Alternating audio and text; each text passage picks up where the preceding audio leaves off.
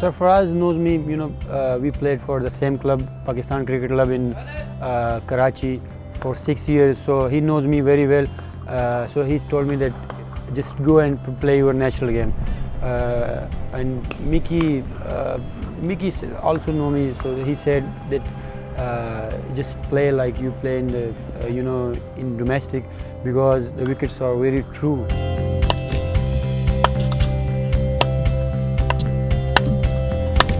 I was so happy to see Fakhar Zaman go out and, and take the game on because that's what we've been training to do.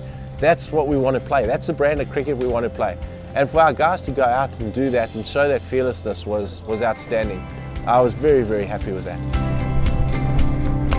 Uh, first of all, he's very confident and his temperament is very good. Uh, he, he likes to take the game on. Uh, that's what he did um, uh, in PSL also.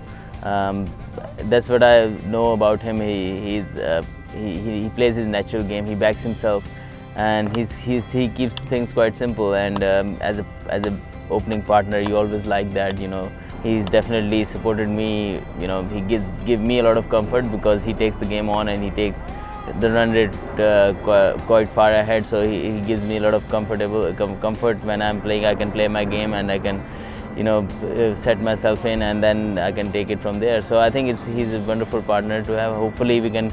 Uh, we can uh, have another good partnership uh, in the final and uh, give give our team a very good start.